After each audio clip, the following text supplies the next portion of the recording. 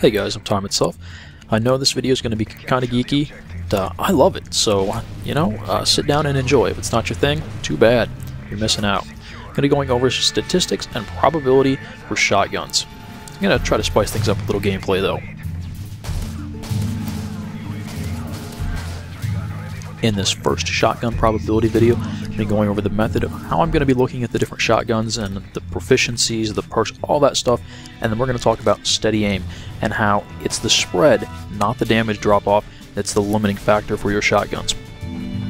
But first, I need to make a quick overview of how bullets and damage work in Call of Duty games, just for the few people who aren't familiar with this. When the bullets or shotgun pellets leave your gun, they're doing maximum damage right up close. And they do they do the same maximum damage out to some range, and it's based on the gun and if you've got some proficiencies or attachments. But until they get to that range, they do that maximum damage.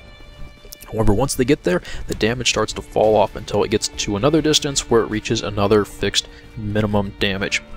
Most guns, once they get to that minimum damage, they just the bullets keep going and they're just doing minimum damage. However, shotguns, the pellets disappear. But over the range where the damage is dropping off, it's going to take more and more shots to hit before you'll score that kill. Now, when you normally fire your gun, you shoulder it, the bullets go exactly where the gun is pointed.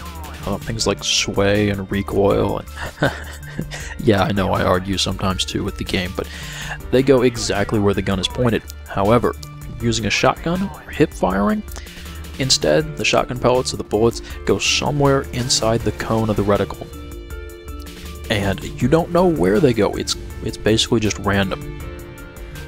Okay, but this leads me to the first assumption that I'm going to be making in this analysis. I don't find it to be much of a stretch, but I do need to tell you about this. That is, I'm going to assume that a pellet goes somewhere in that cone, but the probability of hitting anywhere in there, it's completely even around the entire cone. So it could go on the edge of it, could go in the center, equal probabilities of both of those things happening.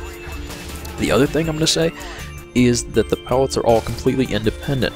Where one goes has no bearing on where the others go.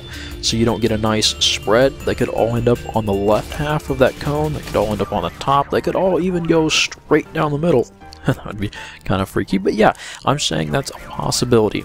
There's no fixed pattern that the pellets conform to. They just go somewhere there randomly.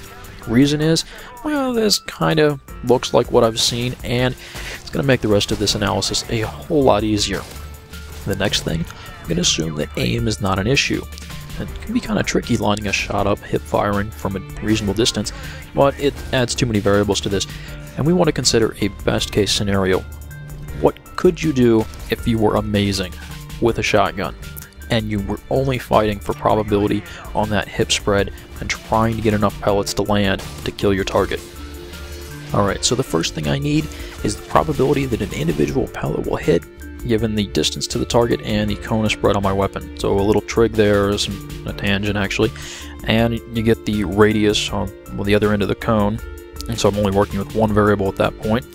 Now I took some screenshots of my friend, um, the XM25, walked it out to exactly 9 meters and found that, that was about 5 degrees of spread. Makes the guy is about just over 2 meters tall.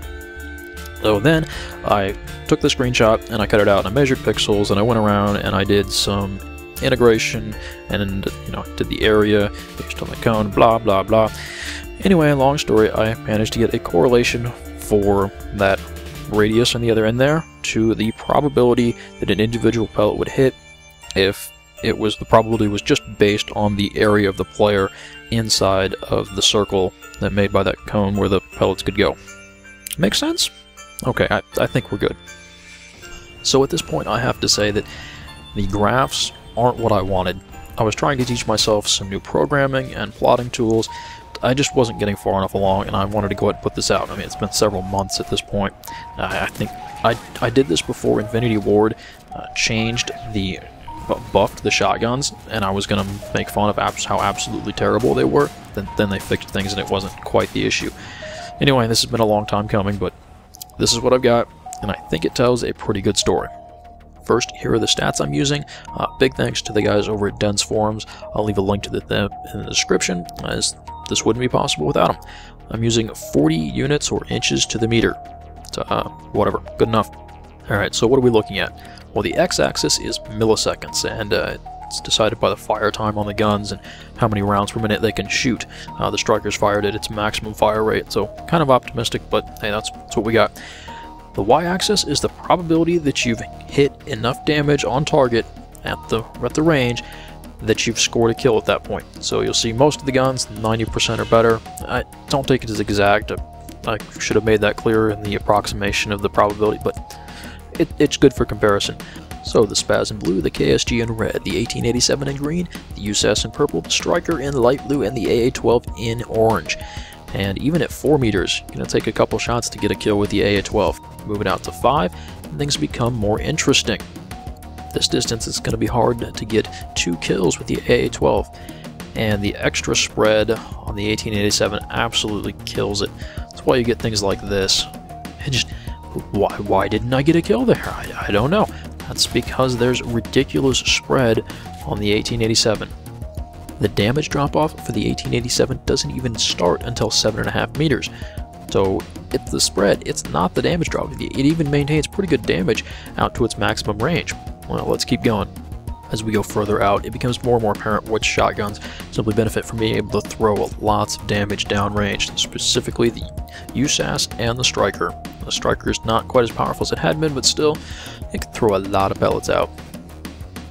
And I'm not going to spend too long on this because, suffice to say, it gets pretty dismal pretty fast, and uh, damage drop-off for a lot of the guns starts about 10 meters. So, you see, by that point, it doesn't matter that's taking more pellets to kill. I mean, it does absolutely make them useless past that point, but they're already pretty ineffective uh, even before you get to that damage drop-off.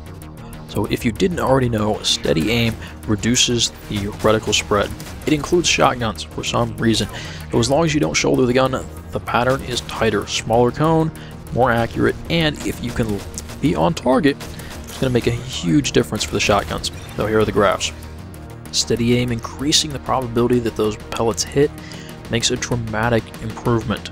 But even at fairly close ranges, by 5 meters we were seeing quite a bit of spread, but here we're out to 7 meters and all the guns? Yeah, sure, worth a shot. Let's get to 8. Yeah, okay, the 1887 isn't faring so well, but the KSG and SPAS still look like they work pretty well even at 8 meters as long as you've got steady aim. So here's the story at 10 meters. The SPAS, KSG, and USAS all still have maximum damage. The reason why it's not very high probability getting killed, even when you're perfectly on target with steady aim, is because of that spread. Whereas the 1887, yeah, it's got some damage drop off happening, but it's still pretty high. Your more important is how many pellets it actually takes to kill. AA-12, obviously, using at this range, you're doing it wrong. the Striker, it's started to have its damage drop off, but it does still pretty well, just because it can shoot so much ammo. Uh, the thing is that it's kind of hard to land a steady aim shot at that kind of distance. So while I'm saying optimistically things don't look so great, especially for the 1887, well, 1887 is a little more forgiving. that's one way to put it. So still, I wouldn't try to use it at that range and expect to get a kill. The KSG fares quite well. It's at maximum range, uh, all things considered, though I still wouldn't really want to be forced to use it at that range. You might get lucky, but uh, I wouldn't count on it. Alright, I think that's about enough for one video. We'll do damage and range for Modern Warfare 3 shotguns next. Uh, subscribe if you'd like to be notified when that's posted, or if it's already up, there's a link on the screen. Uh, anyway, let's see. Stats, people, it's a binomial distribution or sampling with replacement. Fairly simple. It's why I made some of those assumptions, because it makes things quite nice. Uh, otherwise, the most complicated part is actually going in and tracking points around a screenshot to get the uh, regression for probability based on the cones rate, yeah, blah blah. I need to stop geeking out and just go play some more Modern Warfare. I suggest you do the same. I want to apologize for not getting this video out to you sooner, all this information, because I really wanted to make some really awesome graphs, and it just it didn't come together. It was too much work, and I didn't feel like I wanted to keep this to myself any longer. Share with you guys. Uh, find it enjoyable, good information, and if you ever ran your shotguns without steady aim before, I hope I've changed your mind about doing that. uh, maybe even sparked a little curiosity about some stats and probability, who knows. Anyway, I want to thank you for watching. So uh, a couple recent videos I've done, also did I was trying to teach myself this plotting thing. It's time to kill for the various guns. Kind of cool. you know, a different way to visualize the data. And if you've had enough graphs and just want to watch video of people running around, rushing like crazy and making people rage, well, here's a Black Ops video for you. You guys. Thanks for watching, and I'll see you later.